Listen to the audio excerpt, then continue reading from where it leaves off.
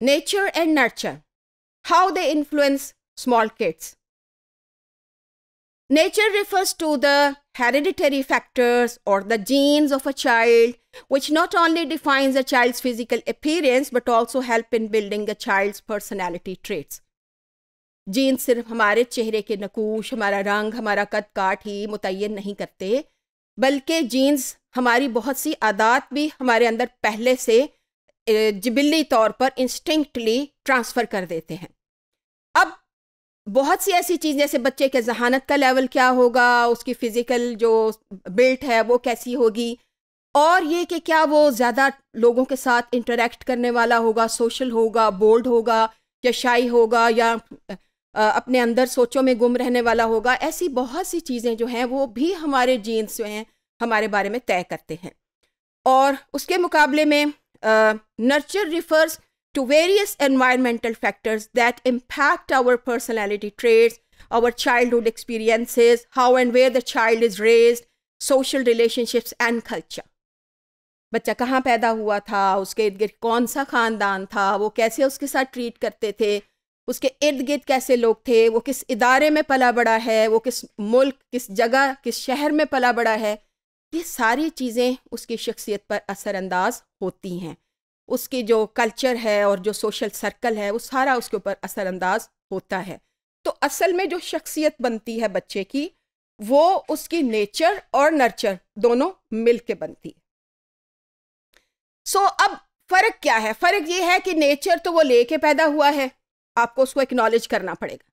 अगर कोई बच्चा फिज़िकली कमज़ोर है या उसकी मसल ब्रेन कोऑर्डिनेशन कम है, या वो शाय है, या वो बेचैन है, उसको समटाइम्स ऐसा भी तो होता है ना, कुछ डिज़ीज़ भी हमारे जीन्स के अंदर आ जाती हैं।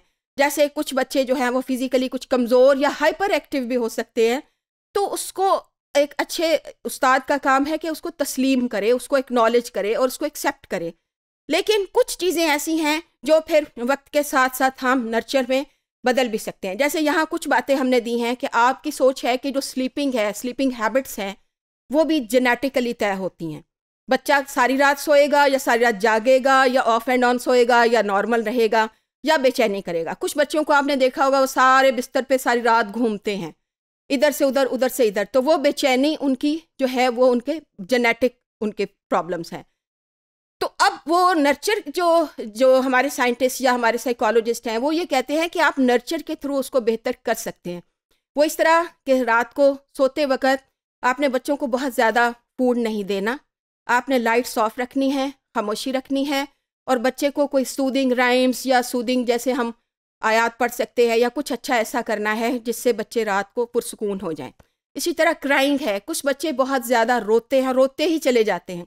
ऐसी सूरत में वो वो भी उनका जेनेटिक प्रॉब्लम हो सकता है। कुछ उनके इंटरनल सिस्टम जो हैं, वो पैदाइशी तौर पर हल्के से अपसेट होते हैं।